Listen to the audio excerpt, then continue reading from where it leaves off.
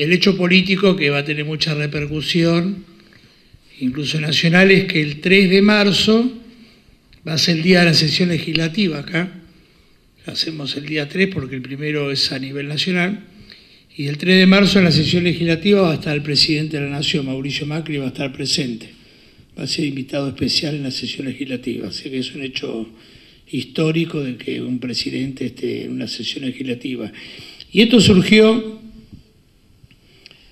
porque sigo pensando el, respeto que uno tiene por los ámbitos institucionales, el respeto que uno tiene por, por las fechas como el 10 de diciembre cuando uno asume o por los primeros de marzo donde uno aborda y, eh, esboza las ideas para el año en curso, este, siempre después somos eh, muy, muy esclavo de todo lo que decimos y por lo tanto en, ese discurso del primero de marzo siempre, en los ocho discursos que hemos tenido en los ocho años de gestión anterior y a partir de este año, este, nosotros decimos cosas que después las cumplimos.